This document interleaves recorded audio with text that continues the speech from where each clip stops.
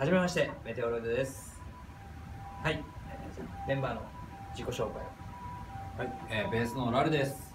ダルマツです。えー This is Drums トム板野美香です。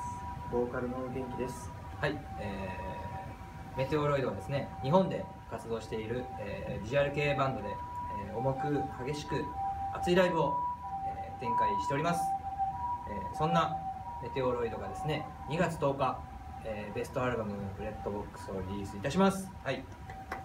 そしてねえっ、と7月にはえーアメリカオクラホマの方でね アメリカオクラホマ。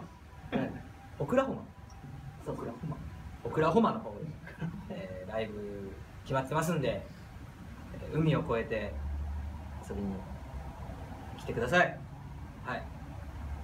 そんな MeteoroiD なんですけれども、えー、と今回このブレッドボックスに入っているですね、えー曲で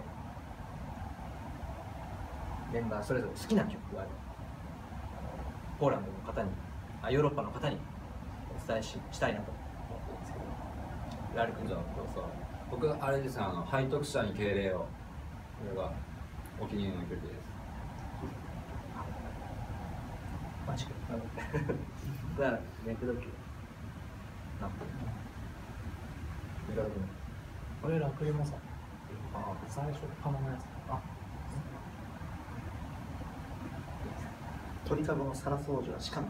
ああなるほどね、はい、みんなそれぞれねいろんな曲があれ、トムなのあ俺ですか俺はあのリトルボーイ、好きですねはいあの今回のアルバムはですね「えっとミスターフェイマスという曲と、えーさらに「リトルボーイという曲ね以前に存在していたんですけれども、えーこのメンバーでさらに、えー進化したメテオロイドを届けようということでアルバムに収録されておりますんでぜひ、えー手に入れる機会があったら聴いてみてください。はい。そして、えークリスマス新年に向けてですね、えーあのヨーロッパの方にメッセージを最後に伝えしようかなと思ってるんですけども。はい。えー、メテオロイドを。はい。メリークリスマス。そうですね。メリークリスマス。あ、ハッピーニューイヤはい。